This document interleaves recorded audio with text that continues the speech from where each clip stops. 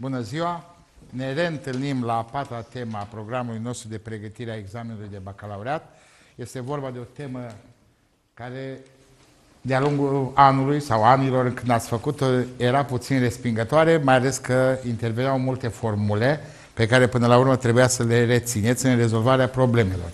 Asigurăm uh, pe toți cei care ne privesc că, deși uh, trigonometria era o parte așa mai dificilă puțin sau se prezenta ca atare, exercițiile propuse pentru examenul de bacalaureat din acest capitol fac parte de asemenea din pro, uh, tipul de probleme 1 roman, în sensul că, știți bine, la 1 roman sunt cele mai ușoare probleme care se dau la examenul de bacalaureat. Dar pentru că, așa cum spuneam, sunt multe formule, ca să vă ajutăm sau să încercăm să modernizăm o lecție, voi încerca să vă distribui niște fișe în care aveți la îndemână formulele, doar trebuie să le selectăm pentru aplicarea lor în tipurile de exerciții pe care le avem de rezolvat. Te rog să împarți mai departe. În lecția de astăzi ne propunem să rezolvăm, ca și în lecțiile anterioare, un număr mare de probleme, mai ales că rezolvările sunt scurte, nu sunt nici grele, dar uh, rezolvându-le ne însușim automat și formule pe care bănuiesc că le-ați mai uitat între timp, dar care vi le reamintiți obligatoriu pentru examenul de bacalaureat, sau vă veți da seama astăzi că e nevoie să le învățați, să le puteți aplica în problemele respective. Începem cu prima problemă uh, și o să vă spun la, că după prima problemă pe care o rezolvăm la tablă, urmează în setul de probleme pe care le avem în tema noastră, un număr de 4-5 probleme a căror rezolvare este asemănătoare. Deci încercăm pe cât posibil să rezolvăm tipuri de probleme ca să rămână ca temă celor care vor să lucreze acasă restul problemelor care se rezolvă asemănător. Deci să începem cu prima problemă, poftim la tablă.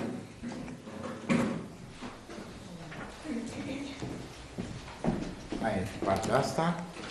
Să se determine sin pătrat de 100 de grade plus cosinus pătrat de 80 de grade.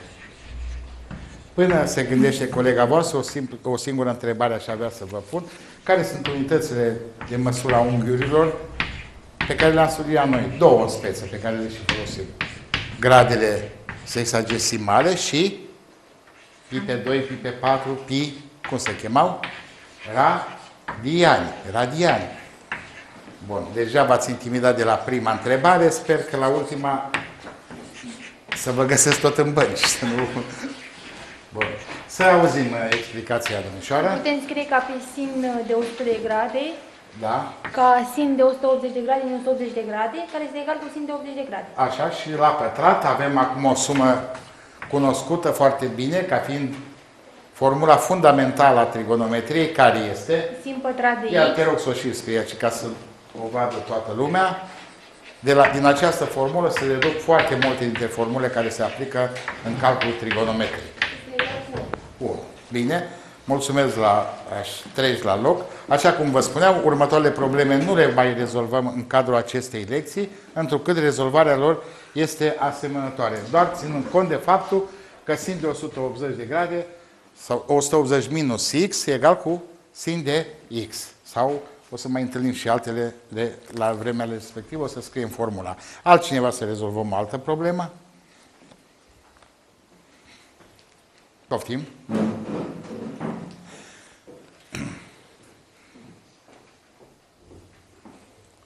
Sinus pătrat de 25 de grade plus sinus pătrat de 65 de grade.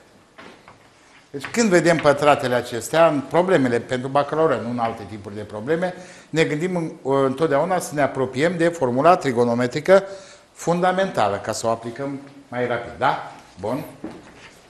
sin pătrat de 65 de grade, îl putem Așa. scrie sin de 90 de grade, Da. sin pătrat de 90 de grade, minus uh, 25 de grade, Da. care știm că se transformă în cos pătrat de 25 de grade. De unde se, se transformă, te rog să-mi scrii și aici, avem formulele care arată că sinusul unui unghi este egal cu cosinusul complementului său. Deci puteți să scrie nu sin pătrat, sin de 90 de grade minus x, în paranteza asta firarea să fie, este egal cu cât cosinus de x. Și cosinus de 90 de grade minus x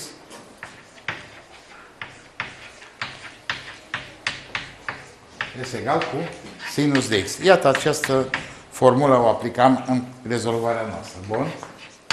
Și sinus pătrat de 25 de grade plus cosinus pătrat de 25 de grade egal cu 1. Bun. Mulțumesc. Încercăm să rezolvăm probleme care se pot rezolva cu aceeași formulă trigonometrică fundamentală, dar aș vrea să vă reamintesc și să vă reamintiți uh, un tabel care uh, ne dă valorile funcțiilor trigonometrice, sinus, cosinus, tangentă și cotangentă, pentru cele mai uzuale măsuri de unghiuri, de 0 grade, 90 de grade, 45, 35 și așa mai departe. Dacă aș vrea să-l scriem pe tablă, să-l avem ca model, poftim, dar puțin repejor, că este un pic mai mult de lucru.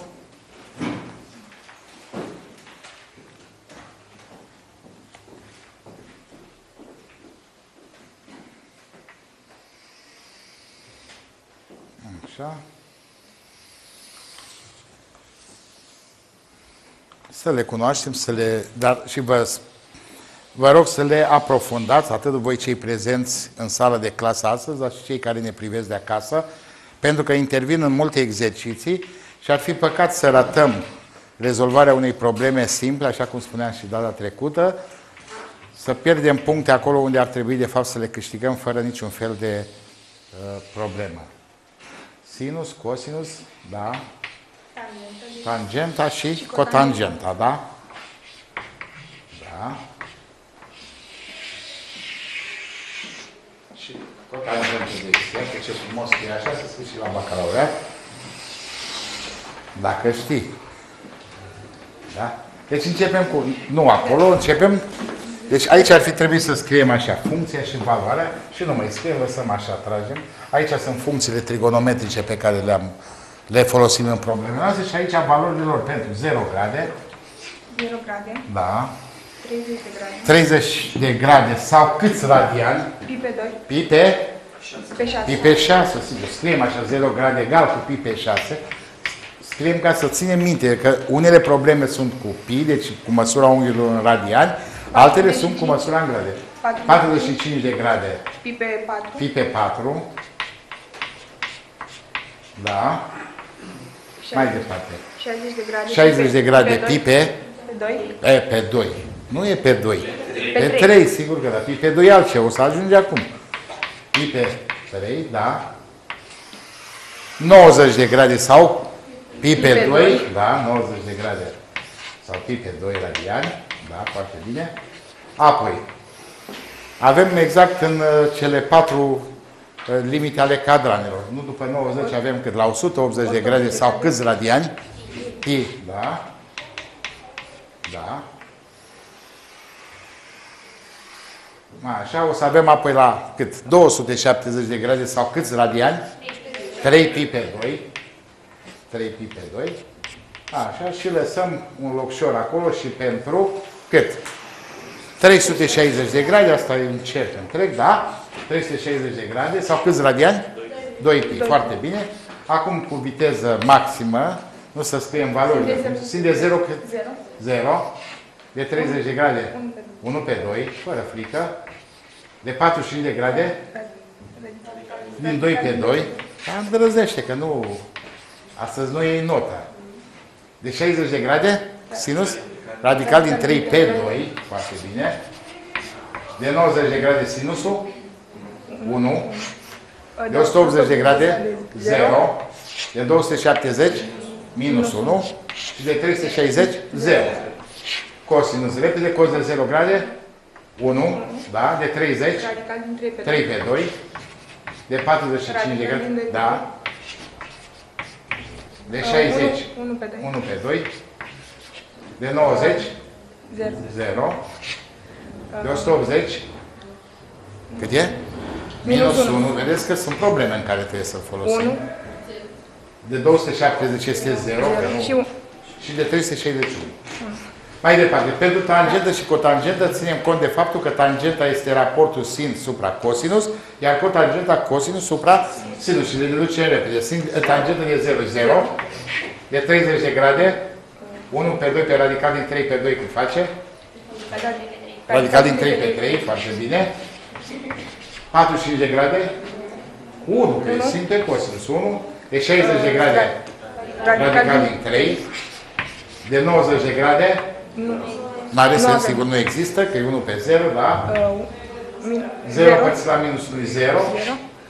Nu avem. nu are, da? Și iar 0. zero. Foarte bine. Repede și pentru cotangentă. Ze- Păi ne uităm, cotangenta e cosinus supra sinus. De